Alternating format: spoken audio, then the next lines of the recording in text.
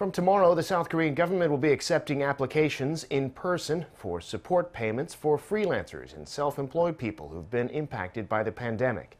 It's already been taking applications online, but now those interested can do it at their local jobs center run by the Labor Ministry. Those eligible will get 1.5 million Korean won, which is worth a little over 1,200 US dollars. To qualify, your income or revenue in March and April has to have gone down or you were put on unpaid leave. The details are posted in Korean on the official website at workplus.go.kr.